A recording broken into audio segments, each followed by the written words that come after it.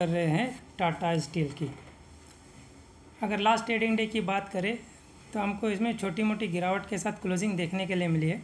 और हम देख सकते हैं कि स्टॉक इसी रेंज में कंसोलिडेट हो रहा है 124 के सपोर्ट के ऊपर।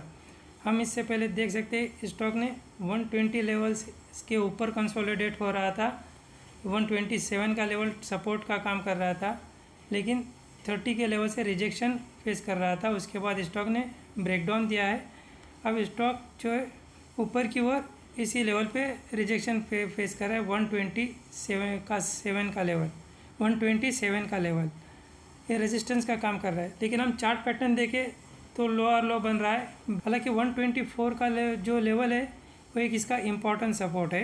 इम्पोर्टेंट सपोर्ट का काम कर रहा है।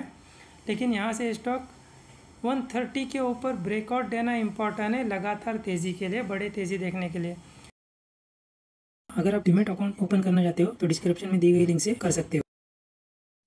हो सकता है कि 127 तक का जम देखने के लिए मिले।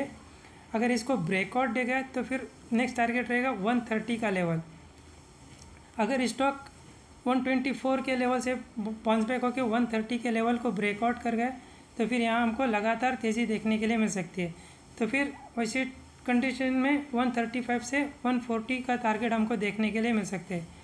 अभी आपने पोजीशन बना कर रखी है तो जब तक 124 के ऊपर है, तब तक पोजीशन को होल्ड किया जा सकता है। अगर इसको ब्रेक डाउन दे दिया तो फिर हो सकता है कि 119 से 114 तक के भी हमको इसमें गिरावट देखने के लिए मिले।